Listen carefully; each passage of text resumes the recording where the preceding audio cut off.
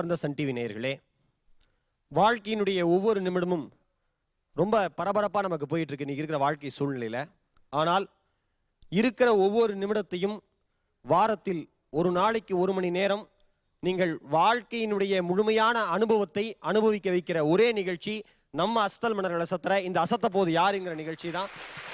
இந்த நிகழ்ச்சி மூலியமாக உங்களை எல்லாம் சந்திக்கிறதுல நான் ரொம்ப ரொம்ப மகிழ்ச்சி அடைகிறேன் மரியாதைக்குரிய இரண்டு காமெடி ஜாம்பவான்கள் எங்களுடைய நடுவர்களாக அமர்ந்திருக்காங்க. இனிய தொகுப்பாளினி எல்லாத்துக்கும் மேலாக இன்னைக்கு நம்ம நிகழ்ச்சிக்கு சிறப்பு விருந்தினரா உலக திரைப்பட விழாவில் ராம் திரைப்படத்திற்கு சிறந்த நடிகருக்கான விருதை பெற்ற மரியாதைக்குரிய ஜீவா அவர்கள் வந்திருக்கார். அவருக்கு என்னுடைய இனிமையான வணக்கத்தை சொல்லிக்கிறேன். ஏன்னா உண்மையாகவே ராம் திரைப்படத்தில் வந்து அவருடைய பாடி லாங்குவேஜ் நான் ரொம்ப ரொம்ப ரசிச்சிருக்கேன். அந்த பாடல் துவங்குறப்ப அவர் அந்த வீட்டுக்கு வெளியிலேருந்து என்ட்ரி ஆவார். ரொம்ப நல்லா இருக்கும். அப்படிப்பட்ட சிறந்த நடிகர் ஜீவா அவர்களை வணங்கி நிகழ்ச்சிக்குள்ள நான் போயிடுறேன். வாங்க மகேஷ். வணக்கம் சார். ஈரோட்ல என்ன பேசிக்கிறாங்க? எல்லாரும் நிகழ்ச்சி பார்த்து ரொம்ப மகிழ்ச்சியா இருக்காங்க. நல்ல பேரு சமுதாயத்துல. ரொம்ப சந்தோஷமா இருக்கு ஓகே இப்போ கான்செப்ட் நாங்க தரட்டுமா நீங்களே பண்றீங்களா? நானே பண்ணிடுறேன் சார். நீங்க எப்படியும் ஜோக் தான் சொல்ல போறீங்க. ஆமா சார். அதனால நானே சொல்லிடலாம் ஆ சொல்லிருங்க நீங்களே ஆரம்பிச்சிடறேன் பரவாயில்ல. சரிங்க சார். ரொம்ப நன்றி. ஏன்னா இன்னைக்கு வந்து யார்ட்டையும் பேச முடியல. இப்போ நாங்கள் ஏதாவது வார்த்தை பேசினாலும் சிட்டி பாபு சார் வந்து எப்படி கமெண்ட் அடிக்கிறாருன்னு நீங்கள் பார்த்துட்டு தான் இருக்கீங்க. அன்னைக்கு நான் கிளாஸில் பாடம் நடத்திட்டு இருக்கேன். பசங்களாம் எப்படி பேசுறானே புரிஞ்சுக்க முடியல. கிளாஸில் பாடம் நடத்திட்டு ஒரு பையில எழுப்பி கேட்டேன். தம்பி உங்கள் அப்பா யாரான்னு கேட்டேன். ஒரு குழு கொடுங்க சாருங்க. எது எதுக்கு குழு கொடுக்குறதுன்னு ஒரு விவசாயம் இல்லை. இந்த பசங்க கிளாஸில் பேசுகிற விஷயமே ரொம்ப பயங்கரமாக இருக்கும். அன்னைக்கு மகாபாரதத்தில் ஒரு பாடம் நடத்திட்டு இருக்கேன். தம்பி அர்ஜுனன் நிற்கிறாரா துரோணாச்சாரியர் எதிர்த்த மாதிரி இருக்காரு. போர் காட்சி. அர்ஜுனன் அம்பு எய்ய மாட்டேன்ட்டாரு. கிருஷ்ண பகவான் கேட்குறாரு ஏன் அம்பு எய்ய மாட்டேங்கிற அர்ஜுனானே என்ன எனக்கு பாடம் கற்றுக் கொடுத்த வாத்தியார் அவரை பார்த்து எப்படி நான் அம்பு அர்ஜுனன் கேட்டான்டா. அருமையான காட்சிடா. இதே இடத்துல துரோணாச்சாரியர் இடத்துல நான் இருக்கேன். அர்ஜுனன் இடத்துல நீ இருக்க. அப்போ நீ என்னடா செய்வ கோபாலுன்னு? பேசுறதுக்கு வேலையே இல்லை சார் போட்டு தள்ளி பத்து நிமிஷம் ஆயிருக்குங்க. அன்னைக்கு ஒருத்தன் டாக்டர்கிட்ட போயிருக்கான். டாக்டர்கிட்ட போய் சொல்லியிருக்கான் டாக்டர் எனக்கு இடுப்பு பிடிச்சிருக்கு அப்படின்னு இருக்கான். எத்தனை நாளா? அப்படின்னு கேட்டிருக்காரு டாக்டர் நான் என் இடுப்பு சொல்ல டாக்டர் உங்கள் நர்ஸோட இடுப்பு எனக்கு ரொம்ப பிடிச்சிருக்குன்னு இருக்கேன். ஒரு ஆள் டாக்டர் போய் கேட்டிருக்கேன் டாக்டர் ஆப்ரேஷன் பண்ணால் பிழைக்க முடியுமா? அப்படின்னு கேட்டிருக்கான். டாக்டர் சொல்லியிருக்காரு என்ன இப்படி கேட்டுட்டீங்க? ஆப்ரேஷன் பண்ணி பண்ணி தான் நான் பதினஞ்சு வருஷமா பிழைச்சிக்கிட்டு இருக்கேன் அப்படின்னு இருந்திருக்கேன் இவன் பிழைக்கிறதுக்கு என்ன அவர் அவர் பிழைக்கிறத பற்றி அவர் சொல்லிட்டு இருக்காரு. அடாடா அந்த விஷயங்கள் அந்த குடும்பத்துக்கு நடக்கிற நகைச்சுவை மாதிரி சார். உலகத்தில் வேறு எங்கேயுமே நடக்காது. ஒருத்தன் சொல்லி என்கிட்ட வந்து ஒருத்தர் சொன்னார் நான் கேட்டேன் அவர் போன வாரம் அவர் வந்து போலீஸ் வந்து அரெஸ்ட் பண்ணி போயிடுச்சு எங்கள் தெருவில் தான் இருக்கார் நான் கேட்டேன் என்னென்ன நீங்கள் போன வாரம் உங்களை போலீஸ் அரெஸ்ட் பண்ணிட்டு போயிருச்சே? என்னாச்சு? அப்படின்னு கேட்டேன். மனைவியை உயிருக்கு உயிராக நேசிச்சேன் மகேஷ். போலீஸ் அரெஸ்ட் பண்ணிட்டு போயிட்டாங்க அப்படின்னாரு. மனைவியை உயிருக்கு உயிராக நேசிச்சதுக்கு போய் போலீஸ் அரெஸ்ட் பண்ணாங்களா? என்னண்ணா எப்படின்னீங்க? ஆமா நான் நேசிச்சது பக்கத்து வீட்டுக்கார மனைவியை. வேலையே இல்லையா அவனுக்கு. இன்னொருத்தர் சொன்னாரு மகேஷ் எந்த திருவிழானாலும் நான் என் பொண்டாட்டிய கம்பல்சரி கூட்டிட்டு போயிருவேன் அப்படின்னாரு. அப்படியானே உங்க பொண்டாட்டி மேல அவ்வளோ பாசமான ஒரு திருவிழாலையாவது அவ காணாம போவாளான்னு பாக்குறேன். சனியை எப்பயுமே கரெக்டாக வந்துருது வீட்டுக்குன்னா. எப்பேற்பட்ட ஆள் பாருங்க. குடும்பத்துக்குள்ள தான் இந்த மாதிரி பல விஷயங்கள் ஊடல் கூடலாம் நடக்கும். சில பேர் நுரண்டுக்குனே பேசுவான். சமாளிக்கிறதுல பயங்கரமாக பேசுவான். ஒரு ஆள் பஸ் ஓட்டிட்டு போய் பஸ்ஸில் இருந்து அத்தனை பேருமே செத்து போயிட்டாங்க. டிரைவர் மட்டும் பொழைச்சிட்டாரு. கோர்ட்டில் கேஸ் நடந்திருக்கு. நீதிபதி கேட்டிருக்காரு எப்படி ஆக்சிடென்ட் நடந்தது? அப்படின்னு இருக்காரு. பஸ் டிரைவரை பார்த்து. டிரைவர் சொல்லியிருக்கான் தெரில சாமி அப்போ நான் நல்ல தூக்கத்தில் இருந்தேன் இருக்கான். அப்புறம் ஆக்சிடென்ட் என்ன நடக்கும்? இப்போ சமாளித்து பேசுகிறதுல வந்து நம்ம ஆட்களை விட்டால் உலகத்தில் யாருமே கிடையாது. ஒரு உலக குற்றவாளியாக ஒரு மூணு பேர் தீர்மானிச்சு அவனுக்கு தண்டனை கொடுக்கலான்னு சொல்லிட்டு நீதிபதி இருந்திருக்காரு. தண்டனை கோர்ட்டுக்கு வந்துட்டாங்க மூணு பேரும். ஒருத்தன் ரஷ்யாக்காரன் ஒருத்தன் அமெரிக்காக்காரன் ஒருத்தன் நம்மாள் தமிழ்நாட்டுக்காரன். நீதிபதி கேட்டிருக்காரு. கோர்ட் இந்தியாவில் இந்தியாவில் கேஸ் நடந்திருக்கு. நீதிபதி கேட்டிருக்க உன்னோட கடைசி ஆசை என்னப்பா? ரெண்டு ஆசை சொல்லு அப்படின்ட்டு இருக்காரு. ரஷ்யாக்காரன் சொல்லியிருக்கான் எங்கள் ரஷ்யாவில் வந்து ஒரு பழரசம் ரொம்ப ஃபேமஸான பழரசம் இருக்குது சார். அதை குடிச்சுப்படுறேன் என்னோட முதல் ஆசை அதை. லெனின் சமாதி பக்கத்தில் என்னோட புதைச்சிருங்க. என்னோட ரெண்டாவது ஆசை அதுன்னு இருக்கான் சரி உனக்கு ஓகே போ அப்படின்ட்டு அமெரிக்காக்காரன் உனக்கு என்னப்பா? அமெரிக்காவில் வந்து மதுவெலாம் ரொம்ப சூப்பராக இருக்கும் சார். நான் ஒரு மது பிரியர். அதனால் எனக்கு ஒரு மது ஒரு பாட்டில் பீர் கொண்டு வந்துருங்க. நான் குடிச்சிடுறேன். எங்கள் நாட்டு தலைவர் ஜார்ஜ் வாஷிங்டன் பக்கத்தில் என்னுடைய சமாதி பக்கத்தில் என்னை போச்சுருங்க ரொம்ப சந்தோஷம். அது எனக்கு போதும்னா அவனுக்கும் நிறைவேற்றியாச்சு மூணாவதா நம்மால் தமிழ்நாட்டுக்காரன். இவன்கிட்ட பேசி மீள முடியுமா? இவன்கிட்ட கூப்பிட்டு கேட்டிருக்காரு. ஏ வா சேனையா அப்படின்னு இருக்காரு. கேஸ் டிசம்பர் மாதம் நடந்திருக்கு. வா ஆசை கேட்டிருக்காரு. இவன் சொல்லியிருக்கான் சாமி நான் சேலத்துக்காரன். சேலத்து மாம்பழம்னா எனக்கு ரொம்ப பிடிக்கும். தயவு செஞ்சு ரெண்டு மாம்பழத்தை கொடுங்க சாப்பிட்டு பிடிச்சி சாவறேன் அப்படின்னு இருக்கான். இப்போ சீசன் இல்லையா மே மாதம் தானே சீசன் அப்படின்னு இருக்காரு ஜட்ஜு நான் இப்பயாவா கேட்டேன்.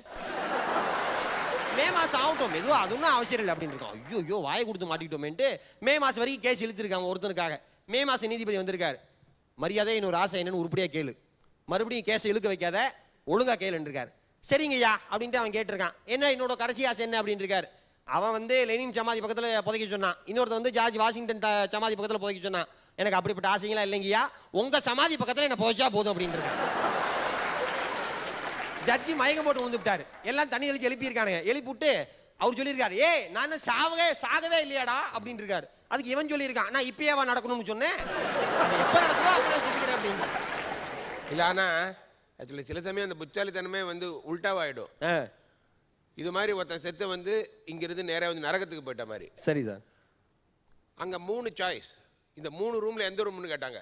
ஒரு ரூம் நல்ல வந்து மரத்துலேயே வந்து ஃப்ளோர் இருக்கு அந்த தரை. சரி. அதில் நிறைய பேர் வந்து தலைகீழ் நின்றுட்டு இருக்காங்க இன்னொரு ரூம் அந்த ரூமில் செங்கல்ல இருக்கு. அதில் இதை விட கொஞ்சம் பேர் வந்து தலைகீழ் நின்றுட்டு இருக்காங்க சரி. மூணாவது ரூமில் ரொம்ப கம்மியான ஆளுங்க. நல்ல வந்து முழங்கால் வரைக்கும் சாக்கடை தண்ணி. ம். அதில் நின்று காஃபி குடிச்சிட்டு இருக்காங்க இவன் பார்த்தான் அது ரெண்டுத்துலையும் தலைகீழ் நிற்கணும் இதில் நேரம் நிற்கலாம் அட்லீஸ்ட் ஒரு சூப்பாவது குடிக்கலாம். பரவாயில்ல நான் நரகத்தில் இந்த ரூமுக்கு வரேன்ட்டான். உடனே இவனுக்கும் வந்து இவன் நேரம் அங்கே போயிட்டான் கையில் ஒரு சூப் கொடுத்துட்டாங்க. சரி சார். சூப் குடித்து குடிச்சு முடிச்ச உடனே சொன்னாங்க சரி உங்கள் பிரேக் டைம் முடிஞ்சு போச்சு திருப்பி எல்லாரும் தலைகீழ் நில்லுங்கன்னாங்க. இந்த மாதிரி தான் அந்த ஆகும் புச்சாலித்தனத்தில் மாட்டிட்டார் அவர். உள்டாவா போய். வாழ்க்கையில் எது உண்மையான மகிழ்ச்சினா சொர்க்கம் நகரம் நரகத்தை பற்றி நிறைய நம்ம பேசிக்கிட்டு இருக்கோம். எது சொர்க்கம் எது நரகம்னா இறைவன் போய் சக்கரை பொங்கல் வச்சிருக்காரு.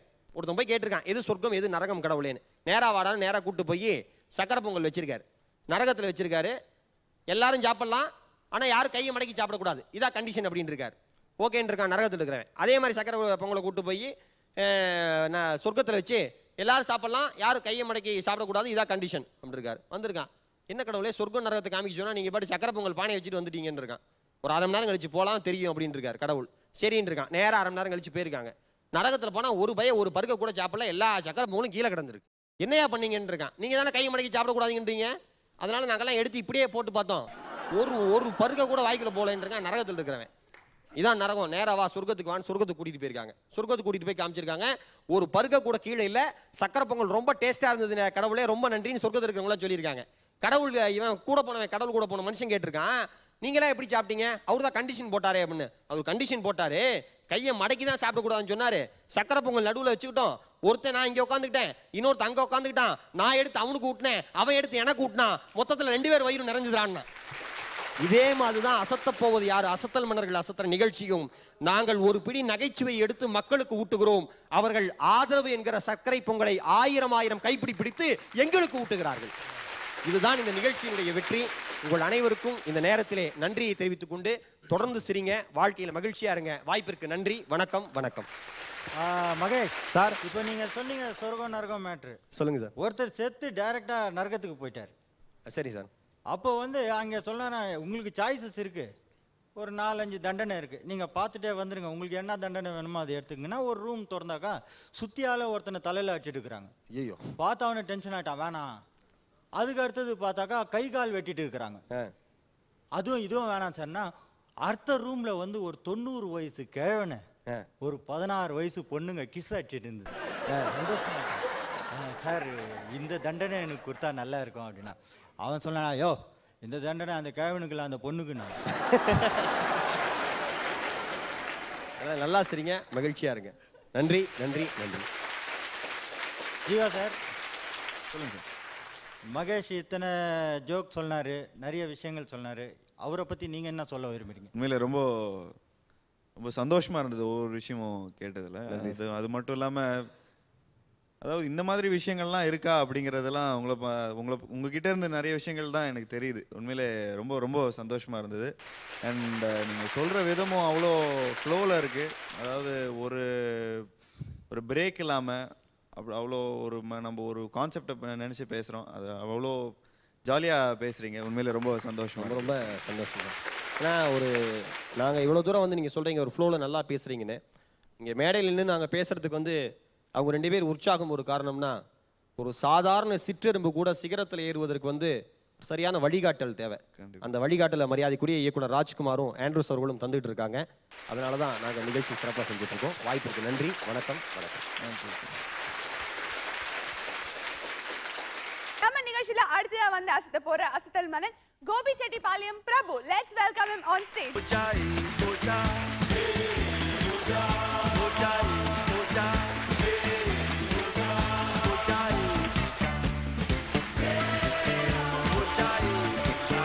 Prabhu மேல இருந்து வருவேன்னு மேலேயே பார்த்துருந்தேன். சரி சார் கட்சியில கீழே இருந்து போயிட்டு இருக்கிற சார் ஒரு வித்தியாசமா இருக்கட்டுன்னு தான் சார் வித்தியாசமா? ஆமாம் சார் என்ன பிரபு? சார் நீங்கள் வந்து வரும்போதே கெட்டப்பில் வந்துட்டீங்க. ஆமாங்க சார். ரெண்டாவது நீங்கள் எப்பவுமே கொஞ்சம் ஃபீமேல் பார்ட் தான் ஜாஸ்தி பண்ணுவீங்க. ஆமாங்க சார். ஸோ நீங்கள் ஏதாவது ஏற்கனவே வந்து கான்செப்ட் எடுத்துகிட்டு வந்திருந்தா நீங்கள் அது பண்ணலாம். ஒண்ணும் ஓகே சார். இப்போ நான் பண்ண போகிற கான்செப்ட் என்னன்னு கேட்டிங்கன்னா கொஞ்சம் சலங்கை படத்தில் ஜெமினி கணேசன் அவர்கள் சாவுத்திரி மேடத்துக்கிட்ட பாடு சாந்தா பாடுன்னு கேட்பாங்க. அதே பாட்டை இப்பத்த நடிகைகிட்டையும் கேட்டிருந்தா எப்படி இருக்கு அப்படிங்கிற ஒரு கான்செப்டோட இப்பொழுது உங்கள் முன்னால். சின்ன வீடா வரட்டுமா?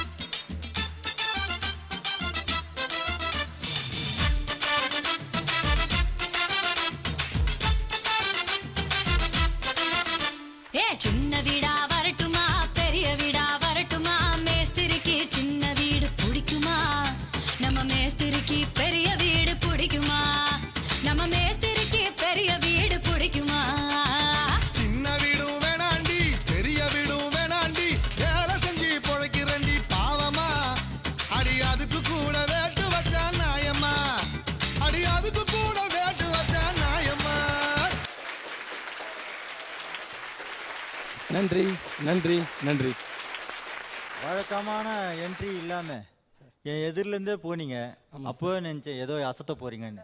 இதே நீங்க கொஞ்ச நாளுக்கு முன்னாடி பண்ணியிருந்தீங்கன்னா ஜெமினி கணேசன் சார் கொஞ்ச நாள் உயிரோட இருந்திருப்பாரு சார். நீங்க என்ன நினைக்கிறீங்க ஜீவா சார்? உண்மையிலே ரொம்ப நல்லா என்ஜாய் பண்ணோம். பார்த்தேன் உங்க முகத்தை பார்த்தேன். எனக்கு சந்தியா கூட அவங்க கூட சொல்லியிருந்தாங்க. இன்னும் சைட் அடிக்காதீங்க சந்தியா எல்லாம் அவுட் ஆகி போச்சு அதோட. வேஸ்ட் இப்போ.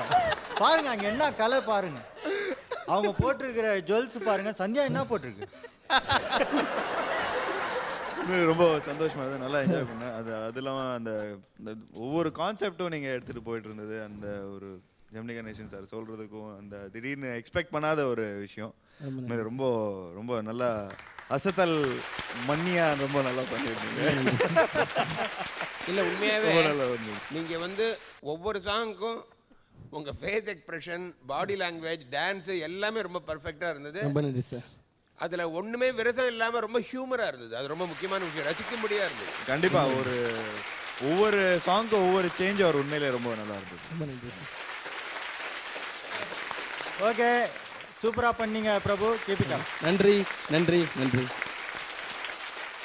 பிரபு ரொம்பவே சூப்பரா ஆசினார்ல. என்ன சிட்டி பாபு சார் ஒரே சந்தோஷமா இருக்கீங்க போல இருக்கு. வந்திருக்க கெஸ்ட்டை விட இங்க உங்களுக்கு தான் மவுஸ் ஜாஸ்தியா இருந்தது. தெரியுதுமா உன்னுடைய ஆதங்கம் எனக்கு புரியுது. உன்னையே நான் பார்த்துட்டு இருந்தேன். உன்னோட பெட்டரா ஒருத்தவங்க வராங்கன்னா அவங்க மேல தானே என் கான்சென்ட்ரேஷன் போகும். நீ ஓகே இதுக்கெல்லாம் பொறாமைப்படக்கூடாது. ஓகேவா நான் எது நான் வந்து பொறாமப்படுவேனா? நான் உன்னை பார்த்துட்டு இருப்பேன். உங்கள மாதிரி ஒரு ஃபிகர் என்ன சைட் அடிக்காம இருக்கிறது எனக்கு ரொம்ப பெருமையா நான் நினைக்கிறேன். ஆனா என்ன ஃபிகர் என்ன பத்தியா? அங்கதான் நிக்கிறேன் நான். நம்ம நிகழ்ச்சியில அடுத்ததா வந்து அசத்த போற அசத்தல் மன்னன் Janaki Raman. Let's welcome him on stage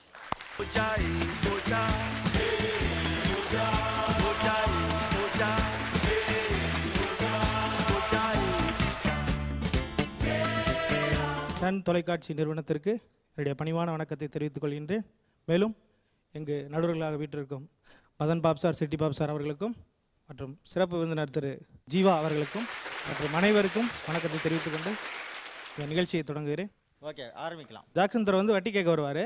அவர்கிட்ட வந்து வீரபாண்டிய கட்டபொம்மனா வராரு. கார்த்திக். ஊ ஏய் ஏய் ஊ ஏய் ஏய் ஊ, யாருமே நீ? நீ தான் ஜாக்சன் துறையா உன்னை பார்த்தா பிச்சைக்கார மாதிரி இருக்க. நீ எல்லாம் துறையா எங்களுக்கெல்லாம் மண்டையில் கருப்பாக முடி இருக்குது உனக்கு எல்லா இடத்துலையும் வெள்ளையாக இருக்குது என்னமே இந்த வயலுக்கு வந்தியா? இல்லை நாத்து நடியா? பொண்ணுங்கெல்லாம் குனிஞ்சு குனிஞ்சு நடுவாங்க நீ எங்கே? குடிஞ்சிட்டு தான் பார்ப்ப அது கேட்டியா இல்லை களைப்பறிச்சியா இல்லை என் தங்கச்சிக்கு பஸ்ஸில் டிக்கெட்டாவது எடுத்து கொடுத்தியா? ஒன்றுமே பண்ணாமல் வட்டி நானே ஒரு படம் கூட நானே மண்டையில் முடி முடி ஊ ஊ. ஏய் ஏய், ஊ ஏய் ஊ எனக்கு டைலாக் ஊ ஊ, ஊ, ஊ, ஊ, ஊ,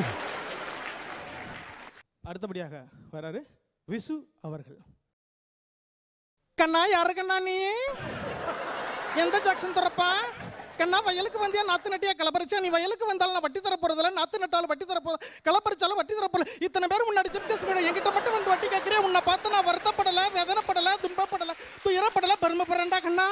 இதுக்கு மீறி வட்டி கேட்டேன்னா நான் ஒரு டாக் ஷோ நடத்துறேன் கண்ணா. அங்க வந்து இந்த பிரச்சனையை பத்தி பேசி எந்த முடிவும் எடுக்காம வீட்டுக்கு போலாம்டா கண்ணா. அடுத்தபடியா வராரு கவுண்டமணி. டே சிமுக்கு சிப்பா டே சிமுக்கு சிப்பா என்னது? துறையா? ஏவிஎம் தேர்ட் ஃப்ளோர் வாசல்ல பிச்சை எடுக்கிற நாய் மாதிரி இருக்கா? இவெல்லாம் துறையா? வயலுக்கு வந்தியா? அடங்கோக்கா நாத்து நட்டியா? கோக்கா மக்கா ஒண்ணுமே பண்ணலிங்கோங்கோங்க நீங்க வட்டி கேட்டா நாங்க கொண்டு வந்து கொடுப்போமாங்க ஏ, ஓடி போடா எட்டி பிடிச்சு நாய. கடைசியாக வைகை புயல் வடிவேலு. ஐயா யார் யார் நீங்க? என்னது துறையா? எதடா திறந்த? எதை திறந்த? வயலுக்கு வந்தியாடா? நாத்து நட்டியாடா? இல்ல எங்க ஆத்தா பூ ஆத்தாக்கு மஞ்சளாவது அரைச்சு கொடுத்தியாடா என் டுபுக்கு? ஏடா ஒண்ணுமே பண்ணல. டேய் நாங்கெல்லாம் உத்து பார்த்தா காடு கரையெல்லாம் கடலா எரியும்டா கடலா எரியும். என்ன முறைக்கிறீங்க? வீரபாண்டிய கட்ட கட்டவங்கள பிறந்தா வீரமா பேசப்படாது. அதுக்கு என்ன துப்பாக்கிய தூக்குறீங்க போடான்னா போயிட்டு போறேன். மீறி கேட்டேன்னா இவங்கிட்ட பிச்சை எடுத்து கொடுக்குறையா அதுக்கு என்ன முறைக்கிறீங்க? தமிழ்நாட்டில் வீரபாண்டிய கட்டவன் வீரமா பேசிட்டான். ராஸ்கி என்ன அது சின்ன பிள்ளைத்தனமா இருக்கு. போறேன்டா போறேன். நன்றி. ஃபர்ஸ்ட் கிளாஸாக பண்ணி உண்மையிலே ரொம்ப நல்லா என்ஜாய் பண்ணாங்க. அதாவது ஒவ்வொரு கேரக்டரும் அப்படியே அந்த கேரக்டரா வாழ்ந்து அதை பண்ணாரு. ரொம்ப காமிக்கலா அது பண்ணது வந்து உண்மையிலே தேங்க்யூ சார் ஒரு திங்க் பண்ண கூடிய ஐ மீன் இந்த இந்த இப்படிலாம் திங்க் பண்ணலாமா அப்படின்லாங்கிற மாதிரிலாம் தோணுது. உண்மையில ரொம்ப சிறப்பா பண்ணீங்க. Okay Janaki Raman keep it up நன்றி நன்றி நன்றி. ஜானகிராமன் உண்மையிலே ரொம்ப எக்ஸ்ட்ராடனரி அசனார்ல. நம்ம நிகழ்ச்சியில அடுத்ததா வந்து அசத்த போற அசத்தல் மன்னர்கள் Madurai Muthu and Christopher let's welcome them on stage.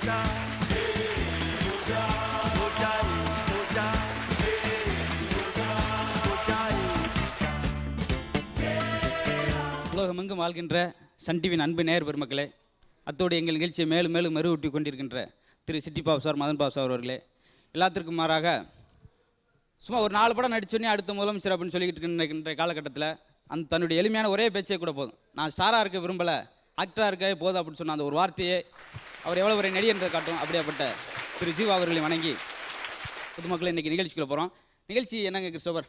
அதாவது ஒரு நிகழ்ச்சினா பொதுவாக அந்த நிகழ்ச்சிக்கு பேர் இருக்கும். ஆமாம் ஆனால் இந்த நிகழ்ச்சிக்கு பேரை வைக்கல. ஏன்? ஏன்னா அது ரொம்ப பேர் போன நிகழ்ச்சி. அதனால பேர் வைக்கல ஓ அதனாலயா? இருந்தாலும் இன்னைக்கு நம்ம மத்தியில வந்து அடப்பு ஆறுமுகம் வந்திருக்கிறாரு. ஆமா அடப்பு ஆறுமுகம் வந்திருக்கிறாரு. உங்களுடைய சந்தேகங்கள் எல்லாத்தையும் அந்த சந்தேகங்கள் எவ்வளவு கேவலமா இருந்தாலும் கீழ்த்தரமா இருந்தாலும் தாராளமா நீங்க வந்து இவர்கிட்ட கேட்கலாம். மானகட்டத்தனமா சொல்றதுக்கு நம்ம மத்தியில வந்து நிக்கிறாரு. என் பேர் என்னன்னா பேச்சு பாரு பெரியசாமி. நாங்க பரம்பரை பரம்பரையா கேவலப்பட்ட குடும்பம்ன்றது உங்களுக்கு நல்லா தெரியும். இப்போ நம்ம நிகழ்ச்சிக்கு போக போறோம். வாங்க அடப்பு ஆறுமுகம் நல்லா இருக்கேன். என்ன ரொம்ப ஸ்லிம்மா இருந்தீங்க? கொஞ்சம் தொந்தி விழுந்துருச்சே. நீங்க முதல்ல தொந்தியை கரைக்கணும். அப்படியே கரைச்சிரும். ஆத்துல கரைக்கணுமா குளத்துல கரைக்கணுமா? சரி ஒரு பொண்ணை லவ் பண்ணிக்கிட்டு இருந்தே. என்ன கல்யாணம் முடிச்சாச்சா? என்ன ஒன்றும் சொல்லல? ஏ பாரு வெக்கத்தை பாரு. ஆ வெட்ட பாரும்போது வெக்கத்தை பாரு. என்னாச்சு? ஆயிடுச்சு. ஏன் ஒரு வார்த்தை கூட சொல்ல என்கிட்ட? அவ எனக்கே சொல்லல. உங்களுக்கே சொல்லலையா? வேற கல்யாணம் ஆகி போச்சுன்னு நினைக்கிறேன். ஆமா, ஆமா. இப்ப நீங்க வேற பொண்ணு பாக்குறீங்களா இல்லையா? பாக்குறேன். நல்லா பண்ணிக்கு பவுடர் அடிச்ச மாதிரி ஒரு பொண்ணை பார்த்துருக்கேன் அன்னைக்கு பவுடர் அடிச்சிருந்தாங்க சரி சரி ரொம்ப சந்தோஷம். வாழ்த்துக்கள். எனக்கு இன்னும் கல்யாணம் ஆனால் அப்பாவுக்கு ஆயிடுச்சு. அப்பாவுக்கு ஆயிருச்சா? அப்படியே அப்பா யாரை முடிச்சிருக்காரு? எங்க அம்மாவை தான். வித்தியாசமான குடும்பமா இருக்கு அப்பா குடும்பம். ஆமா ஆமா ஆமா. அப்பா அம்மாவை கல்யாணம் முடிச்சிருக்காங்க ரொம்ப சந்தோஷம். சரி என் குடும்பத்தை இவ்வளோ நோண்டி நோண்டி கேட்குறீங்களே உங்களுக்கு கல்யாணம் ஆயிடுச்சா? என்னத்த கழுது ஆயிடுச்சு. என்ன இவ்வளோ வேதனையா சொல்றீங்க? இவ்வளோ சோகமா? என்ன கழுது ஒரு தடவை தானே ஆச்சு? உனக்கு ஒரு தடவை ஆனதே பெரிய விஷயம்யா? ஆ? கேவலப்படுத்துறேன் ஆ. சரி எப்படியாப்பட்ட பொண்ணை கல்யாணம் பண்ணிருக்கீங்க? அதாவது என் ஜம்சாரத்தை பத்தி கேக்குறீங்க. அதாவது தார் வாளியை எடுத்து தலையில ஊத்தி விட்ட மாதிரி ஆத்தாடி. கரு கரு கரு கரு கடல் பண்ணி எனக்கா இருப்பா. கரெக்டா போய் ஜோடி நம்பர் ஒன்று ஆமா ஜோடி நம்பர் ஒன்னு சொல்லுங்க. என் தங்கச்சி என்னுடைய ஒய்ஃபோட தங்கச்சி பத்தி கேட்கலையே நீங்க? கரடிக்கு காது குத்தி விட்ட மாதிரி. இதெல்லாம் எங்க பிடிக்கிறீங்க இந்த வார்த்தையை? பத்தி கேட்கலையே ஆ, ஆ. ஆந்தைக்கு அரப்பாவோட போட்டு விட்ட மாதிரி. ரொம்ப சந்தோஷம். ரொம்ப மோசமா போயிட்டு இருக்கு இருக்க நிகழ்ச்சி. நீங்க. வந்து கலந்து கலந்துக்கிட்டே வரீங்க. நம்மளுடைய நேரில் இன்னைக்கு என்னென்ன கேள்வி கேட்டிருக்காங்க? அது கேட்டுருவோமா? ஆமா. அதாவது நிறைய கடுதாசி வந்திருக்கு. சரி. கட்டாரவட்டியில இருந்து கெடா விட்டு கருப்புசாமின்னு ஒருத்தர் எழுதியிருக்கிறார். அப்பா. என்ன எழுதியிருக்காரு? பொண்டாட்டிக்கும் செல்போனுக்கும் என்ன வித்தியாசம்? நல்ல கேள்வி. பொண்டாட்டிக்கும் செல்போனுக்கும் என்ன வித்தியாசம்? ரெண்டுமே வந்த பின்னாடி தான் நம்மளுக்கு ஒரு தோணும். சார் கொஞ்சம் வெயிட் பண்ணி தான் நல்ல மாடலாக கிடச்சிருக்குமே அப்படின்னு சொல்லி. ரொம்ப அருமையான பதில் அருமையான பதில். இப்ப அடுத்து அதே நேரு இன்னொரு கடிதம் கூட போட்டிருக்காரு. என்ன போட்டிருக்காரு? கிரிக்கெட்ல கடைசி வரைக்கும் அவுட் ஆகாம இருக்கணும்னா நம்ம என்ன பண்ணணும்? நல்ல கேள்வி. கிரிக்கெட்ல கடைசி வரைக்கும் அவுட் ஆகாம இருக்கணும்னா அம்பையரா தான் இருக்கணும். ஆடக்கூடாது. இல்ல வேற வழி அடுத்து வந்து எங்க ஊர்ல வந்து நடிகை நமிதாவும் நடிகை ஸ்னேகாவும் ஃபைனான்ஸ் கம்பெனி ஆரம்பிச்சிருக்காங்க. கேட்கவே கண்ணு குளிர்ச்சியா இருக்கு. சொல்லுங்க. நான் யாரு கம்பெனில போய் என் பணத்தை போட? ஒரே குழப்பமா இருக்குன்னு அரசு அழகர் சாமி எழுதி நமிதாவும் சினேகம் ஃபைனான்ஸ் கம்பெனி ஆரம்பிச்சிருக்காங்க. யாரோட ஃபைனான்ஸ் கம்பெனி பணம் போடுறது ஒரே குழப்பமா இருக்கு. ஆமா அந்த குழப்பமே வேணாம். பணத்தை கொண்டு விறு விறுன்னு போய் நமிதா ஃபைனான்ஸ் கம்பெனியில் பணத்தை போடுங்க. ஏன் அப்படி அவ்வளவு அழுத்தமா சொல்றீங்க? அவங்க இழுத்து மூட மாட்டாங்க. கம்பெனியை கம்பெனியை சொன்னேன்? அடுத்து மதுரை பொன்னகரம் பிராட்வேல இருந்து கண்ணாயிரம்னு ஒருத்தர் எழுதியிருக்கிறாரு. என்ன கேட்டிருக்காரு? அடுத்த ஒலிம்பிக் போட்டி எங்க நடக்கும்? ஆ, இன்னைக்கு மக்கள் எல்லாம் பரபரப்பாக இருக்கிறது ஒன்று தான் அடுத்த ஒலிம்போட்டி எங்கே நடக்குமோ எப்படி நடக்குமோன்னு சொல்லி. அந்த குழப்பமே வேணாம். அடுத்த ஒலிம்போட்டி கண்டிப்பாக கிரவுண்டில் தான் நடக்கும். அதனால் உங்களுக்கு ஒன்றும் அந்த பயமோ அது பயமோ எதுவுமே வேணாம். பரவாயில்ல ரொம்ப புச்சாலித்தமா டக்கு டக்குன்னு வாங்க. சொல்றீங்க எர்ரம்பட்டியில இருந்து எச்சுக்கலை யாகாம்பரம்னு ஒருத்தர் எழுதியிருக்கிறாரு. ஆ, உங்க பெரிய தான் நினைக்கிறேன். கேளுங்க. காஃபி ஸ்ட்ராங்கா இருக்கணும்னா என்ன செய்யணும்னு கேட்டிருக்காரு? கொஞ்சம் இரும்பு செங்கல் சிமெண்ட் இதெல்லாம் போட்டிங்கன்னா கொஞ்சம் நல்லா ஸ்ட்ராங்காக இருக்கும். மடப்புறம் மாயாண்டி. சாதா காதலுக்கும் கள்ள காதலுக்கும் என்ன வித்தியாசம்? இதைத்தான் நான் எதிர்பார்த்துக்கிறேன். இப்படி கேள்வி எதிர்பார்த்தேன். சாதா காதலுக்கும் கள்ள காதலுக்கும் என்ன வித்தியாசம்? சாதா காதல்னா அந்த பொண்ணோட அப்பா அடிப்பாரு. கள்ள காதல்னா அந்த பொண்ணோட புருஷன் அடிப்பான் அவ்வளோதான் அடி வாங்கணும். ஆமா எப்படி அடி வர்றது உறுதி. மலையில போகும்போது ஏன் கொடை பிடிக்கிறோம்னு அந்த மடப்புறம் மாயாண்டி எழுதியிருக்கிறார். ம், மலையில போகும்போது ஏன் கூட பிடிக்கிறோம்னா மண்டையில் உள்ள களிமண் கரையாம இருக்கிறதுக்கு தான். ஆ? இல்ல பொதுவாகவே நான் சொன்னேன். சரி இப்படிலாம் குதர்க்கமா வந்து இப்படி கேள்வியெல்லாம் எழுதி தர்றாங்களே இந்த உலகத்தை பத்தி நீங்க என்னதான் நினைக்கிறீங்க? அது உலகம் போகிறத பற்றி அவன் பேசக்கூடாதுங்க. ஏன்னா அன்னைக்கு பார்த்தாலே எப்படி இருக்குன்னா இப்ப பாருங்களேன் நம்ம நல்ல ஓட்ட போட்டிலே கால் தான் ரொம்ப வேகமாக ஓடுது. ஆனால் பரிசு வார் கை தான் வாங்குது. மீன் பிடிக்கிறவனா மீனவன் சொல்கிறான் மான் பிடிக்கிறவன் மாணவன் என்னைக்கான்னு சொல்லியிருக்குமா? எவ்வளோதான் கொல்லக்கூட்ட தலைவன். பரிச்சை எழுதி பெயிலாக போனால் கூட அவனை பாஸ் தான் சொல்கிறோம் அவனை பெயில் யாரும் சொல்ல போகிறோம் அதனால் எதை எப்படின்னு புரிஞ்சுக்கிறோம் இல்லை. அது சரி இப்போ பருப்பு வடை எதில் செய்கிறோம் பருப்புல செய்யறோம் சரி. உளுந்த வடை? உளுந்துல செய்யறோம் சரி. ஆமா வடை? தெரியுதா? உணர்வு தெரியணும் உங்களுக்கு. சில விஷயங்கள் அப்படி இருக்கு உலகம். எதுக்குமே என்ன நடக்குது எது நடக்குதுன்னு தெரியல. சரி. அதை பத்தி எதுக்கு நீங்க என்ன நினைக்கிறீங்க உலகத்தை பத்தி? அதாவது கங்கை ஆத்துல வந்து மீன் பிடிக்கலாம்ங்கிறாங்க. ஆமா. என்ன? காவிரி ஆத்துலயும் மீன் பிடிக்கலாம்ன்றாங்க. சரி. ஐயர் ஆத்துல பிடிக்கூடாதுன்றாங்கப்பா பிடிச்சா உனக்கு என்ன ஆகும்? தெரியும் நிலைமை. வாங்க கேள்விக்கு வாங்க. கேட்கிற அத்தனை கேள்விக்கும் மட மட மட மட மடன்னு அடிக்கிறியாப்பா. எப்படி முடியுது? ரொம்ப தடகாத்திரமான உடம்பா தானே இருக்கும் உடம்பு. ஆமா. உங்க வீட்டுல சமையல் எப்படி? அடுப்புல தான். பெரிய விலங்கு பிடிச்சா இல்லையா படுக்க போட்டு பால் டெக்னிக் கட்டணும்யா. ஏ எப்படி அவனுக்கு சோறு வர்றாங்க தட்டுல தான். எப்படி சாப்பிடுற? வாயில தான் உன்ட்ட மனுஷன் பேசுவானாயா? மனுஷன் பேசுவானா? ஹை நான் கிளம்புறேன்யா. நன்றி நன்றி சூப்பர். ஜீவா சார் இவர் மதுரை முத்து இப்படி தான் நேராக அவர் மாட்டுக்கு வருவார். வந்து நின்றுட்டு ஜோக் சொல்லியே அசத்திடுவார். கூட கிறிஸ்டபர் வேற இன்னைக்கு சேர்ந்துருக்காரு. நீங்கள் இதை பற்றி என்ன நினைக்கிறீங்க? அந்த பேரே ரொம்ப வித்தியாசமா இருந்துச்சு. ஒருத்தர் ஒருத்தரோட பேரே ரொம்ப வித்தியாசமா இருந்தது. அது மட்டும் இல்லாம ரொம்ப ஒரு கேவலமான ஒரு விஷயத்த வந்து ரொம்ப ஜாலியா பேசிட்டு ரொம்ப சிறப்பா இருந்தது. ரொம்ப ரொம்ப நன்றி. நன்றி நன்றி.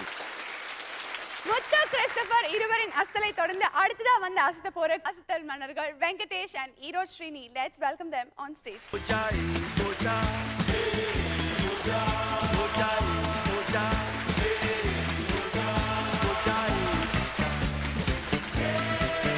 வணக்கம் அன்பார்ந்த சன் டிவி நேயர்களே. ஒவ்வொரு வாரமும் அசத்த போவது யார் நிகழ்ச்சியை பார்த்து ரசித்துக் கொண்டிருக்க உங்கள் அனைவருக்கும் எங்களுடைய அசத்தல் மன்னர்கள் சார்பாகவும் எங்களுடைய நடுவர்கள் சிட்டி பாபு மதன் பாப் சார் சார்பாக ஒரு அன்பான வணக்கத்தை தெரியப்படுத்திக் கொண்டு இன்றைய நிகழ்ச்சிக்கு சிறப்பு விருந்தினராக வந்திருக்கின்ற இளம் நாயகன் ஜீவா அவர்களையும் எங்கள் சார்பாக வருக வருக என வரவேற்று நேரடியாக நாங்கள் நிகழ்ச்சிக்குள்ள போறோம். வாங்க வெங்கடேஷ் ஈரோடு ஸ்ரீனி ரெண்டு பேருமே மன்னர்கள் ஆயிட்டீங்க அசத்தல் மன்னர்கள். ஆமா சார். ரெண்டு பேரும் சேர்ந்து வந்திருக்கீங்க. அப்போ நீங்களே ஏதோ ஒரு ஐடியா எடுத்துகிட்டு வந்திருக்கீங்கன்னு அர்த்தம். ஆமாம் சார் ரெண்டு பேரும் என்ன பண்ண போறீங்கன்னு சொல்லிட்டு பண்ணுங்க. இப்போ வந்து சம்மர் லீவ்லாம் முடிஞ்சு ஸ்கூல் ஓப்பன் ஆயிடுச்சு சார். எல்லாம் வந்து ஸ்கூல் அட்மிஷன் பீரியட் நடந்துட்டு இருக்கு இப்போ பொதுவாக வந்து கல்வி வந்து வியாபாரமாக இருக்குது அப்படின்னு சொல்கிறாங்க சில இடங்களில். நல்ல கல்வி கொடுக்குற நிறுவனங்களும் இருக்காங்க. இந்த நேரத்தில் வந்து பெற்றோர்களும் பள்ளி நிர்வாகமும் இரண்டு அணியாக பிரிஞ்சு அவங்க ரெண்டு பேரும் பாட்டாலேயே பேசிக்கிட்டாங்கன்னா எப்படி இருக்கும் அப்படின்னு சொல்லி ஒரு வித்தியாசமான கான்செப்ட் பண்ணியிருக்கோம் சார். பள்ளி நிர்வாகம் சார்பாக நான் பாட போகிறேன் பெற்றோர்கள் சார்பில் நம்ம ஈரோடு சீனி பாட போகிறாரு ஓகே ஆரம்பிக்கலாம். வணக்கம் நேயர்களே. இது பள்ளி நிர்வாகம் மற்றும் பெற்றோர்கள் பங்கு பெறும் ஸ்கூலுக்கு வேட்டு நிகழ்ச்சி. முதல் பாடலை பாட வருகிறார் பள்ளி நிர்வாகம் சார்பாக வெங்கடேஷ் அவர்கள்.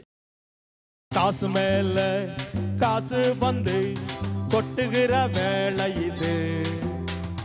வாசக்கதவ ராசலட்சுமி தட்டுகிற வேலை இது. கட்டுனா பீஸு தான் கொட்டுனா நோட்டு தான். எல்லாமே ஸ்கூலுக்கு தான். சுக்குற உச்சத்தில் லக்குதா மச்சத்தில். எல்லாமே டொனேஷன் தான். ஸ்கூலு திறந்தாச்சு பேரண்ட்ஸ் வந்தாச்சு கலெக்ஷன் ஆரம்பண்டா. வந்தாச்சே. ஆனந்தம் அமுக்கி போடு. ஆயாச்சே. பேரின்பம் அடுத்து பெற்றோர்கள் சார்பாக முதல் பாடலை பாட ஈரோடு சீனிவாசன் வருகிறார். என் பிள்ளையத்தான் சேர்க்க வந்தேன். என் பிள்ளையத்தான் சேர்க்க வந்தேன். ஐயோ சண்டாலாவும்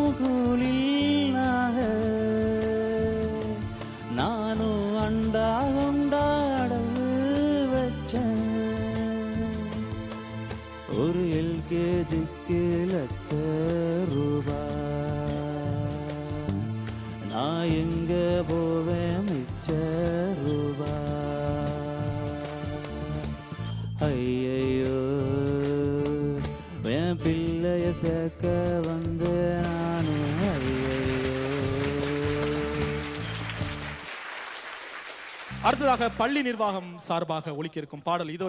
ஸ்கூலுடா ஸ்கூலுடா சூப்பரான ஸ்கூலுடா. சேருடா சேருடா உன் பிள்ளைய சேருடா. ஏய் ஸ்கூலுடா ஸ்கூலுடா சூப்பரான ஸ்கூலுடா. சேருடா சேருடா உன் பிள்ளைய சேருடா. என்னோட ஸ்கூலுங்க ஃபீஸ் எல்லாம் டாப்புங்க. முதலில் கட்டுடா. புது நோட்டு. என்னோட ஸ்கூலுங்க ஃபீஸ் எல்லாம் டாப்புங்க ஃபர்ஸ்ட் முதலில் கட்டுடா. புது நோட்டு. பள்ளி எல்லாம் இங்க திறந்தாச்சு. பெத்தவன் காசு கரைஞ்சாச்சு.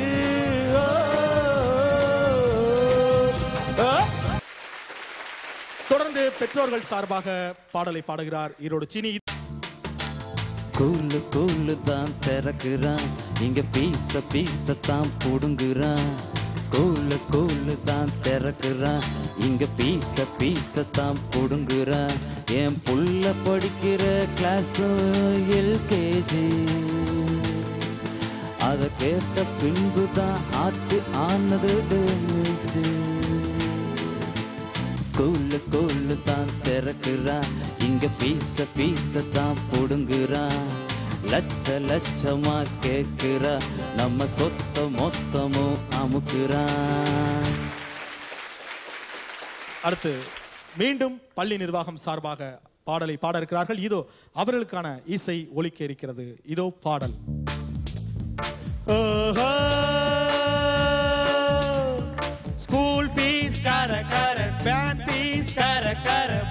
பீஸ் கர கர ட்ரெஸ் பீஸ் கர முடிஞ்ச வரைக்கும் கர கர கர. மொட்டை அடிச்சு கர கர. மொத்தமாக கர கர கர. ஆண்டியாக்கி கர கர. ஓஹோ. பெற்றோர்கள் சார்பாக அடுத்த பாடலை பாட ஈரோடு சீனி. இதோ அவருக்கான இசை ஆரம்பம். சேர்த்த முதல் நாளே தோளில் சேர்த்த முதல் நாளே. ரோட்டில் அலைகிறனே நானும் ரோட்டில் அலைகிறனே ஒரு எல்கேஜி சீட்டில் சேர்த்து புட்டு அதுக்கு எம்பி சீட்டு போல செலவு செஞ்சேன். ஒரு அனாதை போல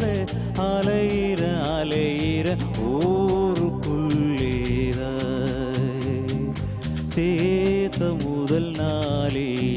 ஸ்கூலில் சேர்த்த முதல் நாளே.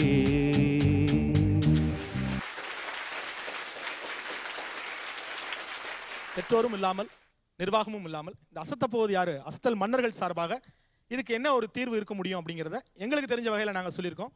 அதையும் ஒரு பாட்டாவே இப்போ நாங்கள் ரெண்டு பேரும் சேர்ந்து சொல்ல போறோம். இப்போ அதுக்கான பாடல். ஊருக்குள்ள இருக்குதுங்க. அரசாங்க பள்ளிக்கூடம் ஊருக்குள்ள இருக்குதுங்க. அரசாங்க பள்ளிக்கூடம் அதுல நீங்க எல்லாருமே பாடம் படிக்க வாங்க வாங்க. அதுல நீங்க எல்லாருமே பாடம் படிக்க வாங்க வாங்க. இங்கிலீஷு மீடியத்தை நம்பி ஒரு பயனும் இல்ல இங்கிலீஷு மீடியத்தை நம்பி ஒரு பயனும் இல்ல தமிழில் நீயும் படிப்பதனா யாருக்குமே குறைவதில்லை. தமிழில் நீயும் படிப்பதனா யாருக்குமே குறைவதில்லை. படிக்கிறவன் படிக்கிறவன். எங்க வேணா படிச்சுக்குவான் படிக்கிறவன் படிக்கிறவன். எங்க வேணா படிச்சுக்குவான் இந்த கல்வி எல்லோருக்கும் சமமாக அமைய வேண்டும் என்பதை இந்த அசத்த போவது யார் நிகழ்ச்சியிலே சொல்லி உங்களிடமிருந்து விடைபெறுகிறோம். நன்றி நன்றி நன்றி ரொம்ப அழகான விஷயம். இந்த சீசனுக்கு வந்து கரெக்டான விஷயம். இப்போ இந்த தனியார் பள்ளிகள் நம்ம லட்சக்கணக்காக பணம் செலவழித்து நம்ம வந்து பிள்ளைங்களை சேர்க்குறோம். ஆனால் அரசாங்க பள்ளிகள் அதுக்கு எந்த வகையிலையும் கம்மியானதில்லை. ஏன்னா இன்றைக்கி நம்ம நாட்டோட முதல் குடிமகன் அப்துல் கலாம் அவர்கள் சாதாரண ஒரு அரசாங்க பள்ளியில் படித்து தான் இன்னைக்கு இந்த நிலைமைக்கு வந்தார். ஒருத்தன் தமிழன்னு சொல்லிட்டு அவன் தமிழகத்துக்கு என்ன பிரயோஜனமே இல்லை. நம்ம பாரதிதாசன் சொன்னபடி தமிழுக்கு அமுதென்று பெயர் அப்படின்ற மாதிரி அந்த அழகான மொழியை நம்ம நிச்சயமாக வச்சுக்கணும். அது தவிர பழைப்புக்காக சாப்பாட்டுக்காக நம்ம தாய்மொழியில் மற்ற மொழியெல்லாம் ஜெர்மன் கூட கற்றுங்க ஃப்ரெஞ்சு கூட கற்றுங்க ஆனால் தமிழ் மொழி நிச்சயமாக தெரியணும் நீங்கள் சொன்னது ரொம்ப நல்ல பாயிண்ட் ஜீவா என்ன பேச போறாரு பார்ப்போம் அகர முதல் எழுத்தெல்லாம் ஆதிவகன் முதற்றே உ- உலகுன்னு சொல்லுவாங்க. அது வந்து ஒவ்வொரு விஷயமும் அதாவது படிப்பு இப்படி தேவைப்படுது அப்படி தேவைப்படுது நிறைய விதத்தில் வந்து சொல்லியிருந்தீங்க. கண்டிப்பாக இந்த இதில் இந்த விஷயம் நீங்கள் என்ன சொல்லியிருந்தீங்களோ அது ரொம்ப ஜோவியலாக சொன்னீங்க. ஸோ அது வந்து உண்மையிலே ரொம்ப சிறப்பாக இருந்தது. நன்றி. நன்றி. நன்றி. நன்றி.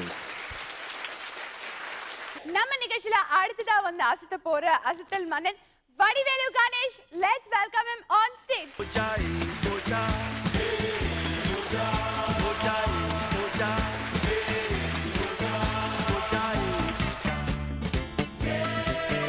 சாமி வணக்கம் சாமி. உங்க ரெண்டு பேத்துக்கு தான் சாமி நான் வணக்கம். வணக்கம் வணக்கம். வணக்கம் உனக்கு வணக்கம்மா. வணக்கம் அக்கா. நாங்க தான் ஏழை எளியோர் கிழிஞ்சு போட்டு போட்டுக்கிட்டு இருக்கேன். நீங்க வசதியா இருந்தே இப்படி கிழிச்சு கொடுத்துட்டீங்க? Super super. ரொம்ப நன்றிங்கய்யா?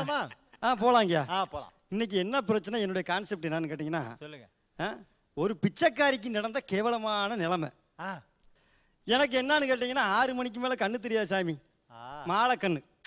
அந்த நேரத்தில் பிச்சை எடுக்க போனப்ப ஏதோ ஒரு எந்த இடத்துல ஏதோ குண்டக்க மண்டக்க ஆகிப்போச்சு அதனால தான் இப்படி ஆகிப்போச்சு அது ஏன் நடந்துச்சு? யாரால் நடந்துச்சுங்கிற சொல்ல போகிறது தான் இது இப்படித்தான் யாரும் தெரியல அப்போ யாரும் தெரியலன்னு சொல்லி ஆஸ்பத்திரிக்கு போய் போனால் போட்டோ எடுத்து காட்டுவாங்க புள்ள எப்படி இருக்கோ? அப்பனா அப்படி தானே இருப்பான்னு சொல்லி சொன்னாங்க ஆஸ்பத்திரிக்கு போன உடனே போட்டோ எடுத்தாங்கய்யா போட்டோவை பார்த்தேன். பையன். பையனாக இருந்தாலும் பரவாயில்ல.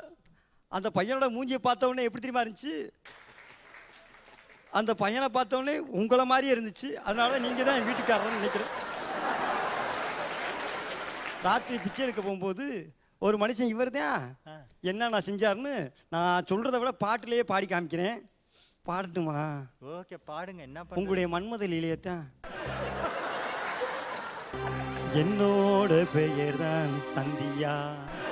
சந்தியா சந்தியா. இப்ப அடிக்கடி எடுக்கிறேன் வாந்தியா.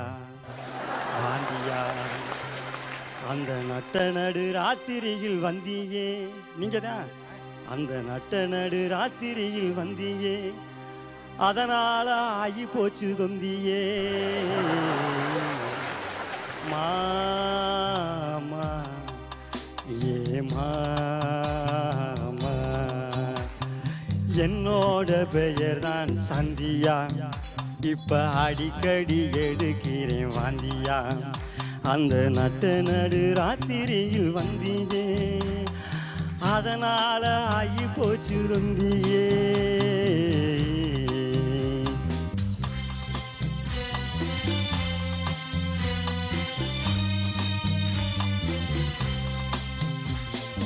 நான் பிச்சை கேட்க வந்தபோது பிரியாணி வாங்கி தந்த மாமா பின்பு பிச்சி பூவை பின்னால் வச்சு அழகு பார்த்த மாமா. ஒன்றும் தெரியாத பிச்சைக்காரிய புரட்டி எடுத்தையே மாமா. வயிற்றுக்கு சொத்த போட்டு வைரத்தல்ல வச்சிட்டே மாமா. செய்யறத செஞ்சு விட்டு புள்ள போல முழிக்கிற ஏன் மாமா. மாமா. சிட்டி பாபு மாமா. மாமா. ஏ மாமா.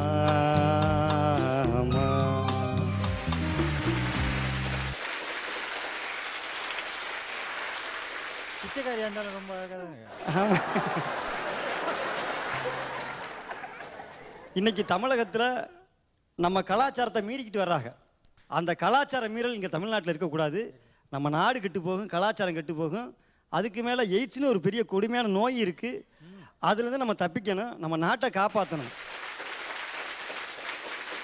மறைந்த நகைச்சுவை நடிகர் என்ன கிருஷ்ணன் சிரிக்கணும் சிந்திக்கணும்னு சொல்லியிருக்காரு. அதே மாதிரி சிரிக்க வச்சு சிந்திக்கக்கூடிய நிகழ்ச்சியை கொடுக்குறது தான் நம்ம அசத்த போவது யார் நிகழ்ச்சி? நல்ல வாய்ப்பை கொடுத்த அனைவருக்கும் நன்றி கூறி போய் வருகிறேன். நன்றி வணக்கம். சீரியஸான விஷயத்த வந்து ரொம்ப காமெடியாக சொல்லியிருக்கீங்க. அது மட்டும் இல்லாமல் ஒரு மெசேஜாக நிறைய நிறைய சொல்லியிருக்கீங்க. உண்மையிலே ரொம்ப ரொம்ப சிறப்பாக இருந்தது. ரொம்ப நன்றி. ரொம்ப ரொம்ப நன்றி. ரொம்ப ரொம்ப நல்லா இருந்தது. ரொம்ப நன்றி சார். காட்டுமா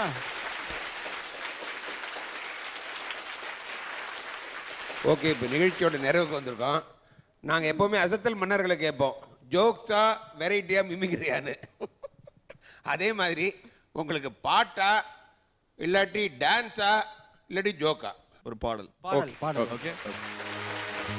சென்னை மாநகரம் ஒரு நாள் சிறப்பான நகரம். சென்னை மாநகரம் ஒரு நாள் சிறப்பான நகரம். நாங்க கூவாத்துல குளிச்சோம். அட அட யாரெல்ல துணி துவைச்சோம் பக்கிங் கேம்பல்ல படகு விட்டோம் அது ஒரு காலம் ஏய்! பக்கிங் கேம்பல்ல படகு விட்டோம். அது ஒரு காலம் இது அத்தனையும் நாரி போச்சு. இது நம்ம காலம் சென்னை மாநகரம் ஒரு நாள் சிறப்பான நகரம். நாங்க குவாத்துல குளிச்சோம். அட அடையாறுல யாருல துணி துவைச்சோம்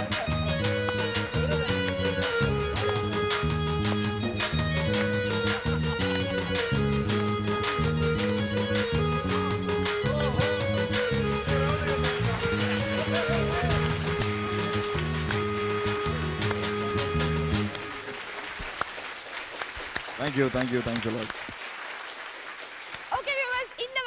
போகுது யாரு நிகழ்ச்சி வழக்கத்தை விட ரொம்பவே அஸ்தலா இருந்தது மீண்டும் அடுத்த வாரம் இதே நிகழ்ச்சியில் உங்களை சந்திக்கும் வரை உங்களிடமிருந்து விடைபெறுவது Madan Bob Chitti Bob Sandhya and our team saying tata bye bye அசத்த போவது?